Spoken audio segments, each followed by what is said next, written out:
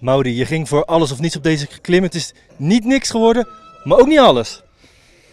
Ja, ik dacht, ik zei eerst, eerst en vooral is de dagoverwinning. Als die, als die overwinning er is, is het volksklassement sowieso.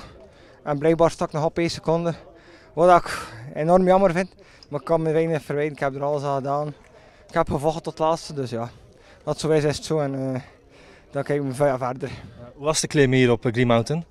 Ja, was, was heel lastig. Uh, zeker de laatste twee kilometer waren immens stijl. Dus uh, ja, het was gewoon ieder voor zich. En, en ik denk dat de sterkste gewonnen heeft. En uh, tja, dus benen springen hier. Je bent al redelijk snel berust in de tweede plek in het klassement? Ja, zolang dat officieel communicatie nog niet uit is, wacht ik nog even af. Maar ik heb natuurlijk ook de finish niet gezien. Is de seconde, is geen seconde. Dat is allemaal moeilijk te zeggen.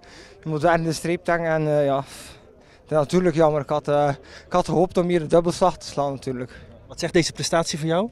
Gewoon dat de conditie goed is. En dan uh, met vertrouwen naar de volgende koers kunnen. Ja, en welke koersen zijn dat? Uh, voor mij Dromar Dash en Strade. Dankjewel.